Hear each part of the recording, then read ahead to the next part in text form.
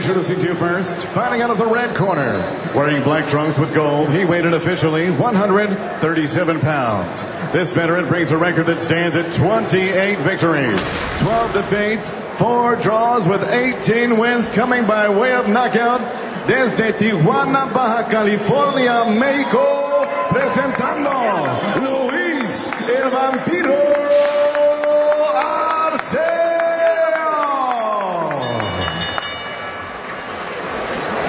And across the ring, his opponent stands fighting out of the blue corner.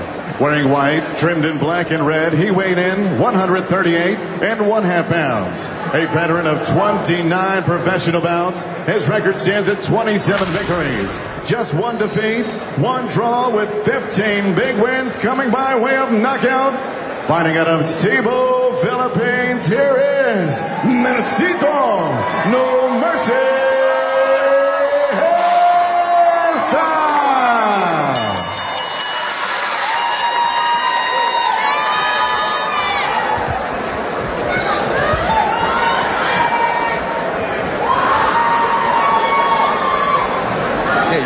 Instructions in the dressing room.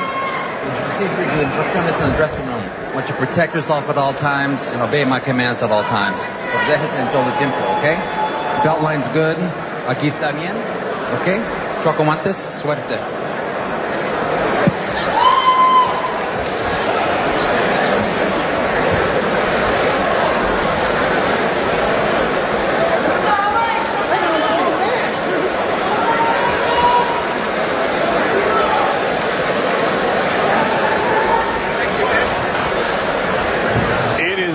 event time here in San Francisco. Cito Gesta in those white trunks. Arceo in the black trunks, the gold trim. Gesta coming out as a right-handed fighter. Even though he's a southpaw, I mean, he told us he's a natural right-hander, natural right-hander, but he's always fought out of the southpaw stance. And tonight he's coming out and right after Arceo, he goes right after him. He's coming out right-handed tonight, and he stays in the right-handed stance interesting start by Mercito Gesta, something we didn't expect, and I'm sure certainly Luis Arceo did not, did not expect. Yeah, he started, he switched, said his father made him switch at the age of 10. Started fighting southpaw. Here's another left hook to the body. Arceo by. And he actually looks comfortable. You know, one one way you find figure out if a fighter is comfortable in that stance is not so much the punches he throws because fighters can throw punches out of both stances. It's the defense and his defensive awareness and sharpness out of the new stance. And you know, you can see Gesta's pretty alert, almost as if he's been training out of his right-handed stance. And he didn't just come up with the idea on the fly, you know. Well, Gesta's got a new trainer. It's his father. Yeah. He says they've been training now for the past couple of fights. Maybe uh, worked on his head movement, worked on his footwork. Yeah, and, and maybe if uh, his father turned him southpaw as a, as a kid, maybe uh, turned him back to right-handed yeah. as an adult. you know, that's his 27 1 and 1.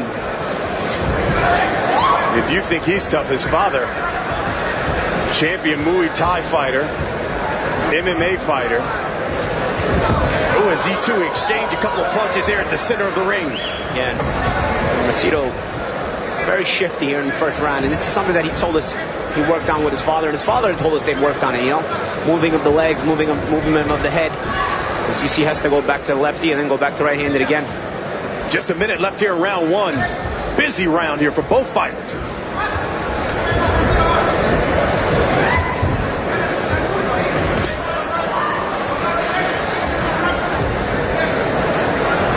His father is in his 50s. He just stopped competing four years ago. Yeah, that's a tough man. Yeah, that's a guy that wants to fight. Leg got took there by Arceo. One thing he has to have to be careful with is when he switches stances, not to do it from too close a range. You don't want to get caught with a punch while you're switching stances. You know, anytime you switch your stances, you want to do it back on the outside where you're in the safety zone before you come back in and attack. 20 seconds here left as these guys again exchange leather in the center of the ring.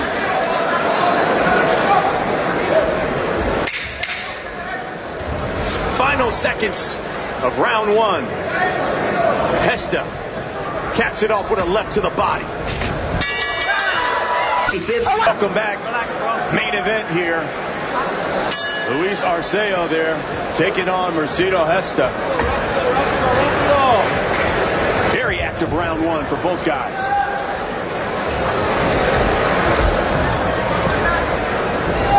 Arceo is 35. Been fighting for 14 years. Tonight's CompuBox stats. They're brought to you by ThrowdownFantasy.com. Draft fighters, track stats, and win. See Hesta landed the better percentage of punches, but Arceo, certainly the busier fighter, throwing a lot. Some blood trickling down on the top of the nose of Arceo. Some, I, don't, I don't know where the cut is at exactly. It might be on the bridge of the nose. See when he turns back around if we can get a better look at it. Arceo's 5 and 1 in his last six fights. You know, he's been in the ring. Josesito Lopez.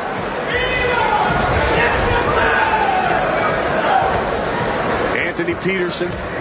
Jose Armando. Santa Cruz, yep. Yeah. And there's Hesta back in the southpaw stance now this round where we're more accustomed to seeing him. But he thinks his experience, he says, listen, I've been in the ring with some good ones. I don't think this young guy can show me anything that I haven't seen.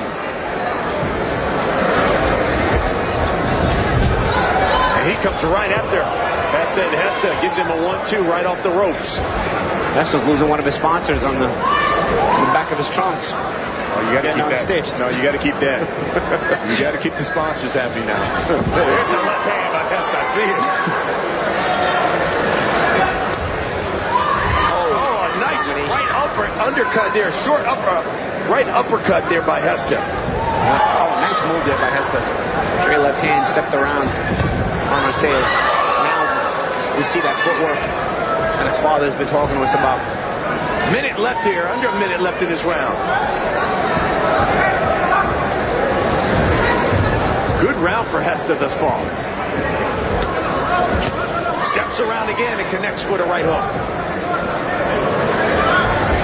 And there's a left hand. That one backs up Arceo. Here comes Hesta. He's got him against the ropes. On the attack. Arceo holds on. Not sure if it was because he was hurt or he was trying to break up the momentum of Mercito Hesta.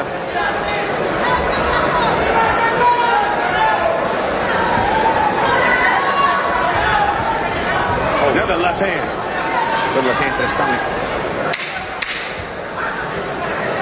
Final seconds of round two. Another left hand.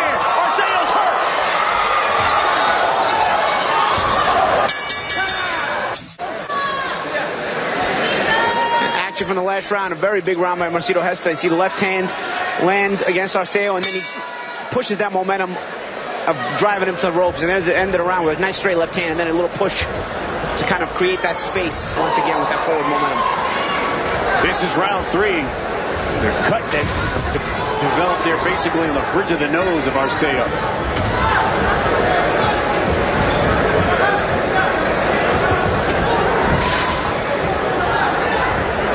Here comes Arceo now. A combination, but it's Hesta. Finishes it off with a right hook.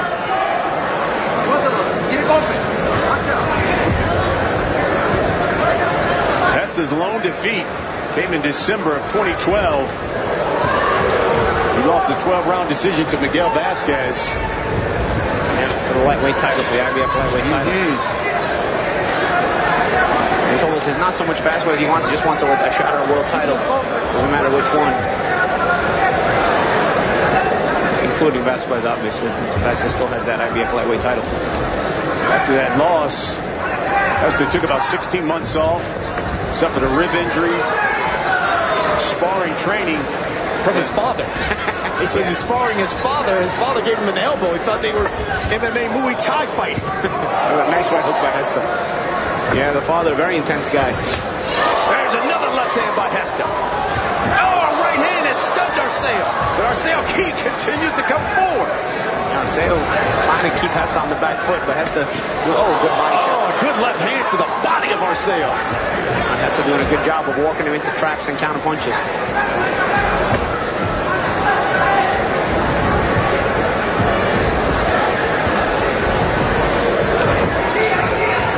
Arceo talked a lot about his experience. He didn't think there would be anything that Hesta the that he hadn't seen. I think he's Hesta showed him a few tricks. Yeah, yeah, and a lot of times that's the thing with guys like Arceo. They're, they're veterans and they have experience against the top opposition. Oh, good combination by Hesta on that counter as well. But the problem is you get that much experience and you're getting beat up on that. A lot of times you're shot worn or a little bit past it. And like we said, it seems like Arceo at 35 years of age, but also having been in so many in with so many quality good fighters, you know, they, they may have punched them out of it. Hesta doing the same now. It's blood on the face of Luis Arceo. And the combinations are coming in bunches. It was a three-punch combination. Hesta just finished it up with a two-punch combination, and you can see the blood there from the nose, on the bridge of the nose of Arceo. Another little short right hook by Hesta.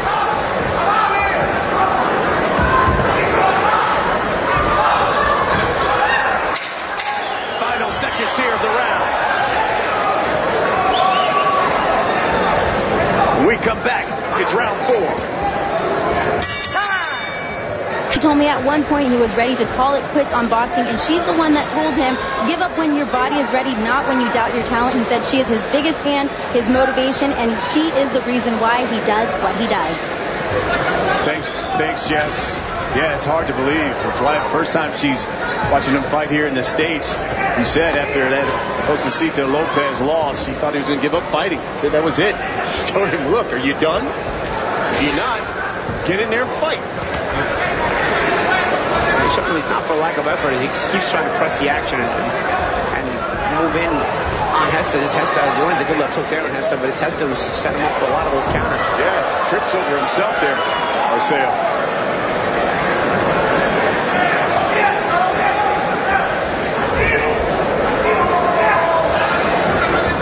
Arceo started this round off fast. There's another little short left hook.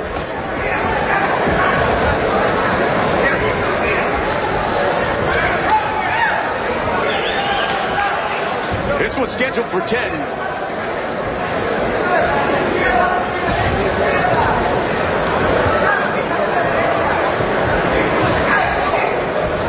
Hesta now makes his home here in San Diego, California. Good there by Hesta. We hit the halfway point of this round. Mind Hesta fights out of the southpaw stance. Oh, good. Minute left in the fourth round. Short little right hook by Hesta.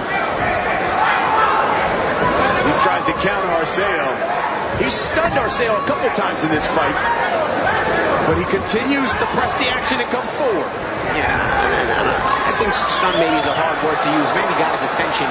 Arceo has been known to have a good chin, and he, he comes to fight all the time. And he's coming to fight tonight. He just seems outgunned, and uh, the better weapons for Hesta, although good right hand there by Arceo.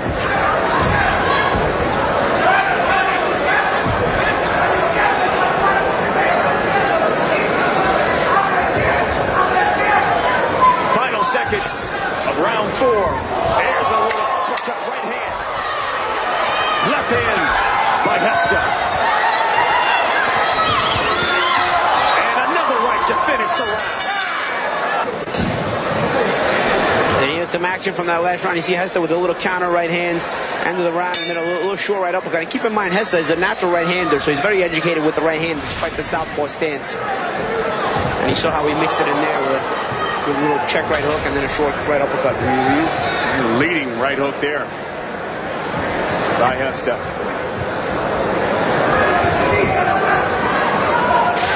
It's interesting. Arceo talked a lot. And again, feet get tangled up. As you pointed out, that's what happens when you're fighting a southpaw. He talks about his experience. When does experience come into play in a fight like this?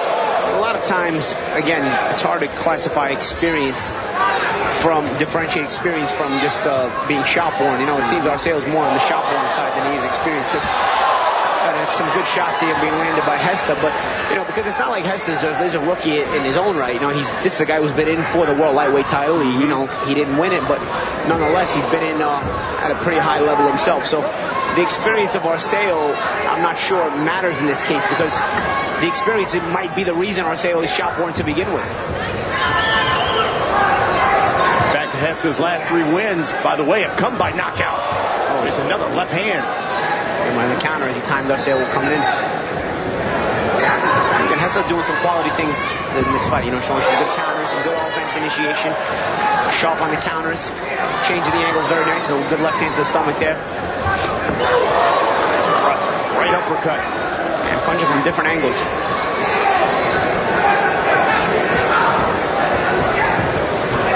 Certainly seen a different fighter from the last time with Vasquez when he lost that fight.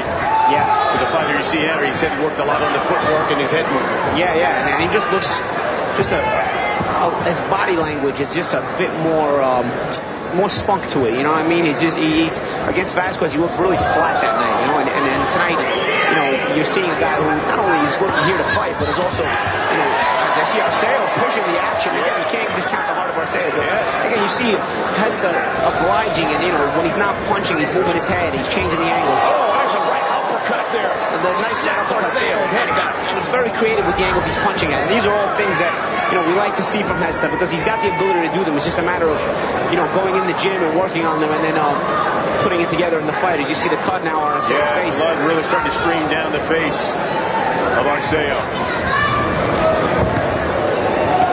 But yet he's still coming forward, throwing punches and eating some. As Hesta works off the ropes. You can just tell Hesta's just a stronger guy. Yeah, yeah, and he's calm, you know, nonetheless. Arceo's coming forward, but Hesta remaining calm and, and timing him on the way in. Continues to hit him with those two pieces.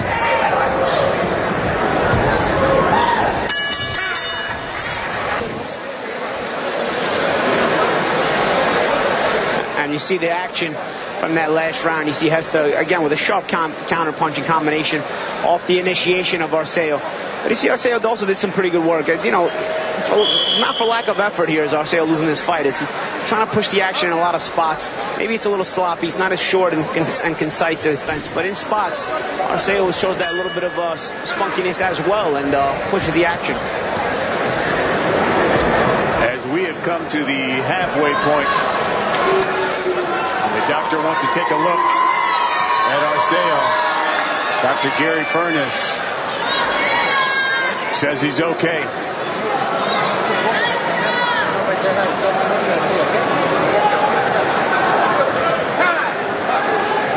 Halfway point here of our main event.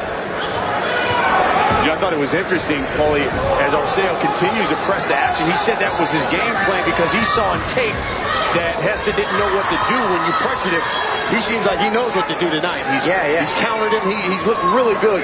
and, and setting up Arceo with his own pressure. You know, a lot of times he takes that half step back to shoot the counter, so he'll set that trap by leaving the space, going straight back, and then meeting Arceo with a punch like that. You know, and so so despite pushing Hesta back. It's not really affected Hesta in a negative way. It's, it's Hesta shown to be a quality boxer and knows how to set traps on his way back. And Hesta is really finding the target, especially the head of Arceo. Uppercuts. And then he slide steps out. Again, very educated right hand, a little short uppercut and right hook. There by Hesta as he doubled up on the right hand. Blood again trickling from the face of Arceo, swelling. What a good right hand by Arceo. You, Arceo earns his check regardless, you know. Tough guy. There's a right hand. That one snaps the head of Hesta. Oh, we got a fight now. Hesta's got to be careful. At times, he's got a bad habit of pulling straight back a little bit recklessly. You know, I understand sometimes he'll take that half step back to, to set the trap and counter, but sometimes he'll just pull straight back a little bit on the lazy side. And he's gotten caught a couple times with punches while he pulls back a little bit lazily. There's another uppercut. Double uppercut by Now letting that counter as, as uh, Arceo threw that jab. A left uppercut. and Hesta from the southpaw stance threw that right uppercut, and then came back with the left one later in the combination. I like the way Hesta counters. At times I think that head step back. Sometimes he'll just hold his ground. Like right now, he's holding his ground. Steps Smacked out with a right hook. Yeah, steps out as he punches, but sometimes Hesta will counter right from where he's at. And, and I know a planted counter has a lot more power. Lead left hand by Hesta. He, he mixes that up very well. Sometimes taking that half step back and sometimes meeting Arceo with punches directly right there.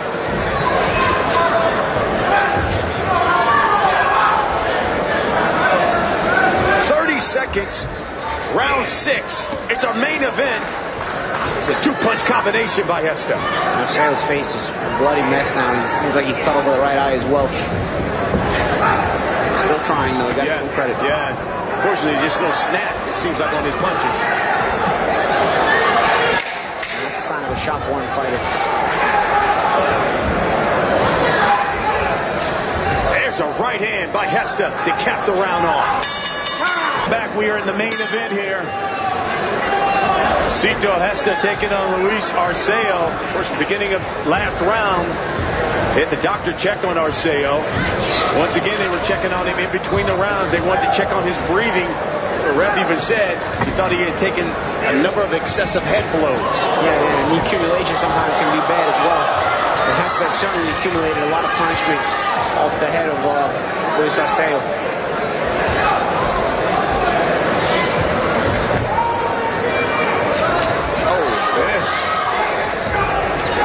Number of big shots by Hesta. Hesta's smart. He's shifty when he needs to be, and he holds his ground when at other times, you know. Really class performance by Mercito Hesta. There's a short right hook.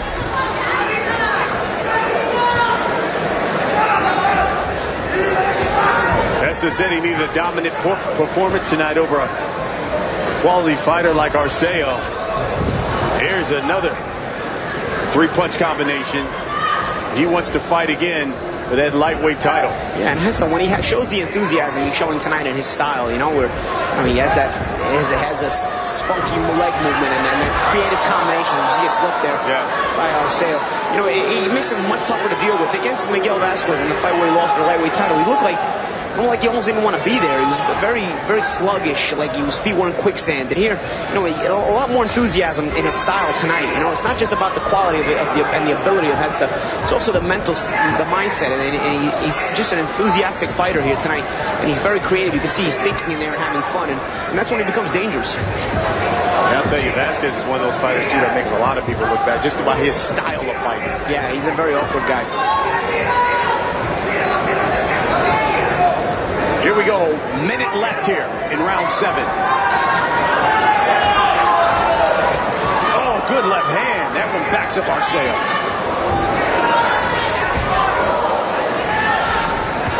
Right hand Arceo. And Hesta connects with one of his own.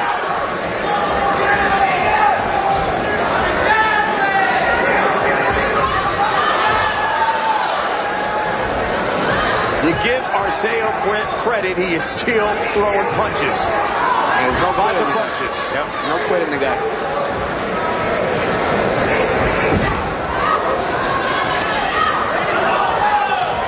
Arceo picking up the action here. Here's a left hand by Hesta. Another straight left.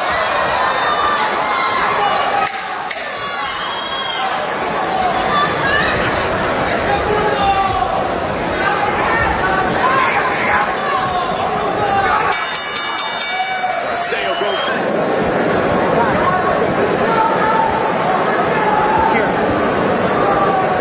Can you follow up here?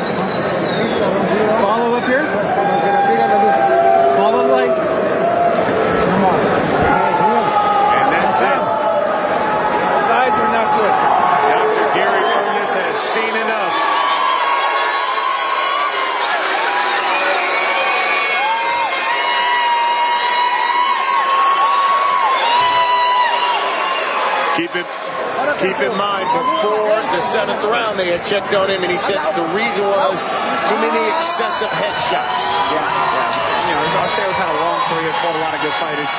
You know, you want to be err on the caution of sa- on the side of safety with a guy like Arceo. who was never going to quit on his own.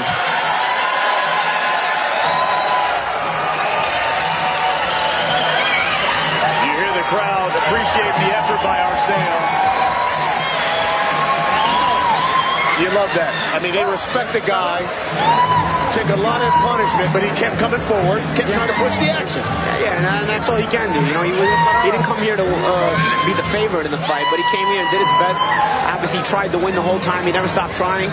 Sometimes guys like that have to be safe from, themselves, from themselves. Testa was clearly the better fighter and was landing some very clean head blows. Let's go to our third member of the broadcast team. Here's Jessica Rosales. Jess? I just talked to the doctor right now. He told me that he called the fight because he had too many head blows. He just wasn't alert when he saw him right now in the corner.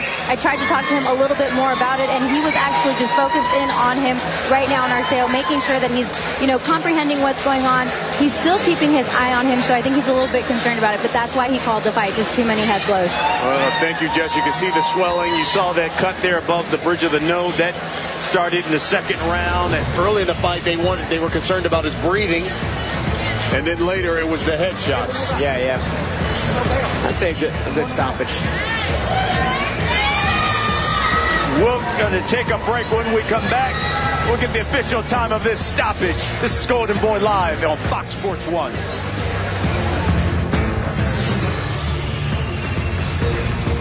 After the fights on Fox Sports Live, we go back.